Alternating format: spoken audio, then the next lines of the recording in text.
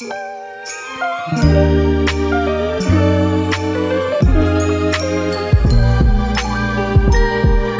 guys, welcome back to my YouTube. Now, some of you may have noticed I've taken a little break and that's because I got married and I gave myself a little break during the wedding. Now, obviously the first question that everyone asks me is, I wanna see the cake. What did the cake look like? How was the cake? Show me, show me. But I hate to disappoint. I didn't actually have a wedding cake. I know, I know, that's a huge thing, especially for a cake maker, but there were a few reasons. Firstly, I didn't actually want the stress of making a cake before my wedding. If you've made a wedding cake yourself or you've seen tutorials on it, you'll know it takes a lot of work and a lot of time in the kitchen. And secondly, where I got married was actually a kosher venue. And because of the kashrut rules, I couldn't have a dairy cake. And if you know me, I love my butter.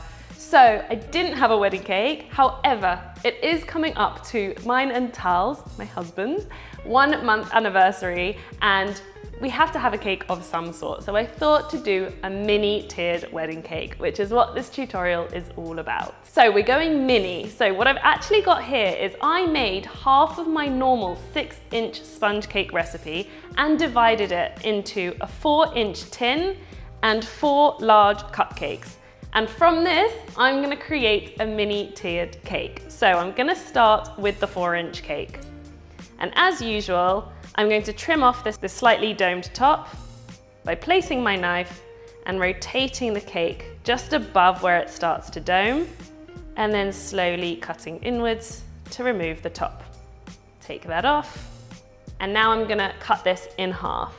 So find halfway with the knife and do the exact same motion and cut it in half. And now I've gone all the way around, I can saw with my knife until it goes all the way through the cake. Perfect. So because it's mini, I'm not gonna do my normal four layers of cake, I'm going to keep it as two. And now for the cupcakes. Now the reason why I made cupcakes is because I didn't have any tins smaller than my four inch tin. But what I'm going to do is unwrap each cupcake and this is gonna act as one layer of cake. So you can see they're just a little bit bigger than the cake layers. And this is gonna be the second tier. So just to start, I'm actually going to use one of these cake layers as a guide and I can cut it to the same height using the same technique by twisting the cupcake and then cut all the way through. So I've got two smaller layers. They are slightly tapered, but I'm not worried about that because anything can be hidden with buttercream. And now for the very top tier of the cake. So I'm also going to be using these cupcakes, but I'm going to cut a little bit away from them. I'm gonna start off in the same way, taking them out the case and using the cake to guide how tall they should be. And obviously these are the same size as the other two I just did. So I'm actually going to cut them out using a small circle cutter. So there's a difference between the top tier and the middle tier. So I'm just gonna simply push the cutter through the cupcake. Hopefully it will come out the other side. And there's a little mini tier of cake. Gonna do the same thing here.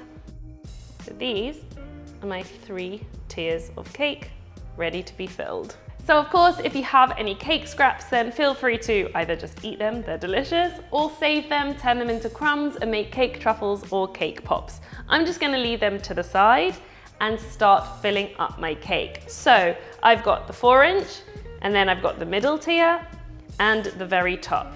And to help me build up this cake, because it's so small, I'm actually going to be using a wooden skewer to keep it in place. And of course, like any cake, I will also need my turntable with a cake board and a palette knife.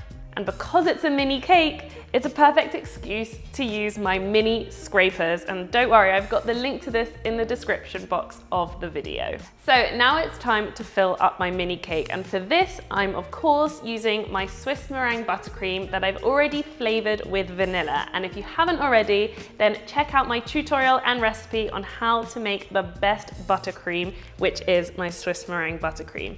And as always I need a little bit of buttercream on my cake board in order for the cake to stick. So I'm just going to use a piping bag and squeeze on a nice amount onto the board. And then I'm gonna get my first piece of sponge and place it on top of the buttercream. Squeeze it down so it's nice and secure. And what I'm gonna do is create a slight dam with the buttercream because I wanna go in with a jammy filling. Get my jam and fill in the middle. Make sure it's spread out evenly and top off with some more buttercream. And then I'm gonna flatten out with my palette knife as always, tilting the palette knife slightly while turning the turntable until the buttercream flattens out. And of course, it's encasing all that jammy filling inside. Then the second piece of cake sits on top. Make sure it's nice and level. And now I'm actually going to do a brief crumb coat with just this single tier, but then I'm going to continue building up the cake from this without doing it all separately like I usually would for a tiered cake, purely because it's such a small cake, it's not very heavy, and I can just do it all in one. So what I'm gonna do is pipe a little bit of buttercream onto the surface and around the sides and scrape it to my crumb coat stage. So a small amount on the top, around the very bottom where it meets the cake board, in between, and that should be enough for the crumb coat. And then with my palette knife, spread it out thinly on top with that same circular motion as before to get that nice, flat, even surface. Moving the buttercream around the sides of the cake, covering as much sponge as possible. And now I want to scrape this crumb coat clean and this is where I'm gonna use my mini scrapers, which I'm so excited to use. They are adorable. Now you can get two versions. One is acrylic, which is a lot stronger, so I'm gonna use it for this bit. And the metal ones are slightly more flexible, which helps on that second layer of buttercream. So like I said, I'm gonna start with the acrylic and go around to make these sides nice and smooth. So placing the scraper vertically at about 45 degrees towards the cake, making sure it's nice and straight, and moving around that buttercream until the sides are smooth and as straight as possible. And now it's time to clean off those top corners. So I'm just gonna make sure my palette knife is nice and clean and then using the edge of my palette knife like normal. So from the outside, swiping into the middle, off and then cleaning off on the scraper. And then any crummy buttercream could go into a separate bowl. So the first tier is done and I'm not too fussed about it being perfect or not because I'm going straight away with that second tier and maybe going around the top again anyway. But for this second tier, even though I didn't originally mind the tapered edges, I think I actually do want to cut them. So I found a cookie cutter the exact same size as the bottom of a cupcake, so I might as well make it all the same size anyway. So I'm just gonna push the cutter down and it's just gonna remove a part of that cupcake hopefully this was now nice and straight. So now I can go directly on with this second tier of cake. Even though there is already buttercream, I don't think it's enough to keep this in place. So I will just dot on a little bit more. And this can go on top. Make sure it is as in line as possible. Now I put jam on the one underneath because that's Tal's favorite flavor, but this tier, I'm gonna go with a little bit of lotus, which is my favorite flavor. So I'm going to start off with the ring of buttercream and then go in with some lotus spread. Tiny little ring for the tiny tier, some lotus, and then top it up with some more buttercream, seal that inside, and then go on with the other piece of cake. I can already tell how wobbly this cake is going to be because it is so small. So I'm going to get that wooden skewer and put it in place already. And again, this is just gonna help me keep the cake centered and not slide around everywhere. So I'm gonna place the skewer in. Doesn't even need to be central because it will come out anyway. Now that cake's not going anywhere. So now I'm going to crumb coat this, just like I did with the tier below, with some buttercream. A little bit around the bottom, squiggle around the middle and a little bit on the top too. And do as much as I can with my palette knife, with that skewer there. As long as it's getting flat against the cake, then it's fine. Around the sides, and then again with the scraper. And it's really tidying up that crumb coat. And then the corners coming from the outside into the middle. So now it's time for the top tier, but I can't really work out exactly where the center is. So I'm going to take out the skewer carefully, place on the top tier, a little bit of buttercream, there's no room for filling in this one. And then the next piece of cake, squeeze it a little bit. And then I'm gonna go back in with the skewer just to re-secure it. So you can obviously see that the size difference between the middle and the top tier is much smaller than the middle and the bottom tier. Uh, that's because I didn't want that top tier to be really small because it's already difficult enough. But once the second layer of buttercream and all the piped details that I'm gonna be decorating this cake with are on, I don't think it's gonna be so much of a problem. If anything, I can just focus more details down here. It is a mini cake after all. So I'm just gonna finish off the crumb coat for this top tier and then put the whole thing ready to chill. So again, a small amount of buttercream around this tier and a bit on top and then carefully move the buttercream around the cake. So I'm actually gonna hold the skewer in place because that's gonna help the cake not move around. And then the top, and then go with the scraper one more time. And again, it doesn't need to be perfect. The whole idea of a crumb coat is just to secure all those crumbs inside. I'm just gonna use the scraper to neaten up any other edges around the rest of the cake. And then the very top tiny bits of buttercream. Okay, that was the hardest crumb coat I've ever done. So maybe I should have separated the tiers, but to be honest, they're so small and they don't even need support in between because they're so light. But I've got it straight, the crumb coat is done, we've got nice sharp corners. Now I'm gonna put this whole cake with the skewer in the freezer for it to completely set. So then when I go on with a second coating of buttercream, I could just do it all in one and there'll be no crumbs at all. So 15 minutes in the freezer should do it. Okay, so the cake and buttercream is now completely solid, having been set in the freezer. So now I'm gonna go ahead and apply a second coating of buttercream to the whole cake at one time. So I've never actually done this across multiple tiers before, so it's gonna be a little bit interesting. But again, with the help of the mini scraper and obviously my pre-prepared piping bag of buttercream, hopefully it will work. So I'm gonna start at the bottom, and with the piping bag, I can apply an even layer of buttercream. I'm gonna angle the piping bag slightly so I can get a nice thickness of buttercream coming out of the end and continue working my way up throughout this tier trying to keep the pressure as even as possible all the way up. And then on top of this tier, and then straight onto the second tier as well. Doing the exact same thing all the way up the tier. Then in between the top tier and the middle tier, and then the top tier itself. And doing the top made me realize that I actually forgot to take out the skewer, but this should come out really easily now and the cake should stay nice and stable because it's cold. So I'm gonna go straight on with my palette knife on the very top of the cake and then smooth out like I usually would with my side scraper. So with an angled palette knife, making that top as flat as possible. And then the side scraper. So I'm working from the top tier downwards because as I use this side scraper, it's also going to start flattening out the top of the middle tier at the same time. Continue turning. And any build up of buttercream, I can just scrape into this bowl and then continue on the middle tier. You see how quickly the scraper really cleans up that layer of buttercream. But we're far from finished because there's a lot of cleaning up to do on this cake. Right, the top two tiers are looking good so far. I'm just gonna tackle the bottom and then I'm gonna neaten up everything else. And the bottom tier is probably gonna be the easiest because you've got the resistance of a cake board underneath rather than another tier of cake. Keep turning until that buttercream smoothens out.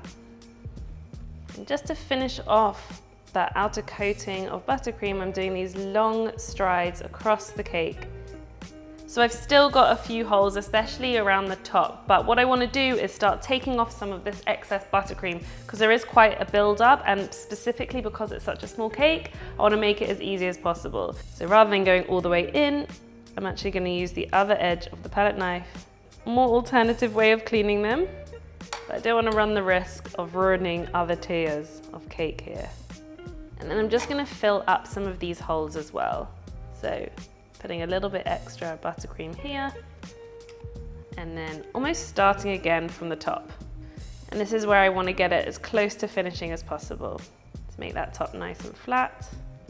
So I'm actually not too worried if any cake is being exposed, especially around the edges, because like I said before, I'm actually gonna go on top with lots more piping details. What I want to do is make sure the surface of the cake is as clean as possible. But even then, always cover up your mistakes with more piping details anyway.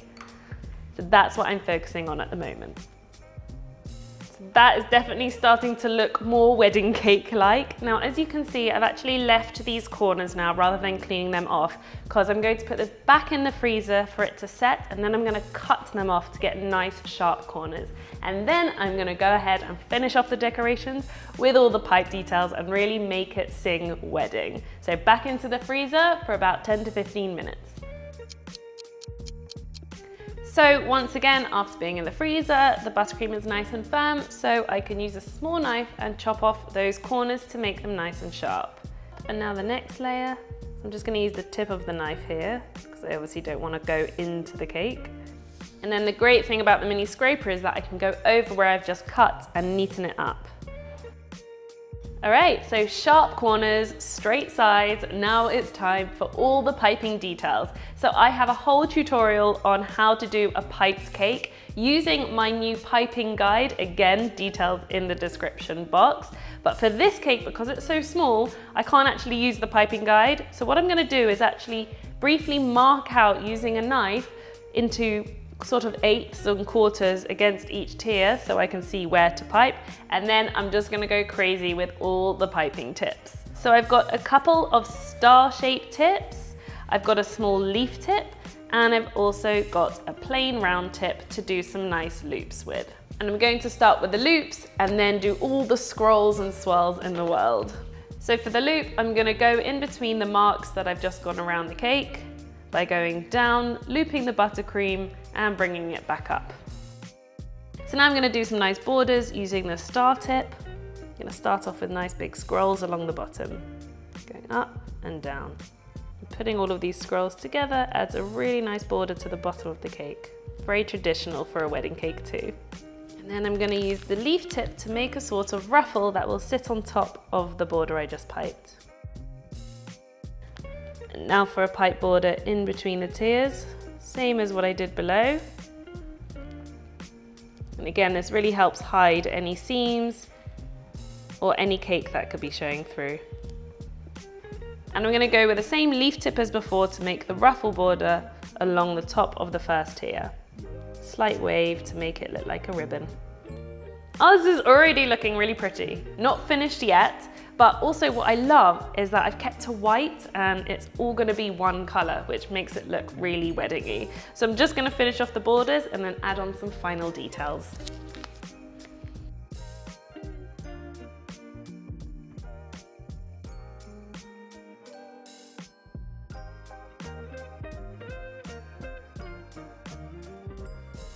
I'm just gonna use the leaf tip to create some nice little details along those scrolls I made.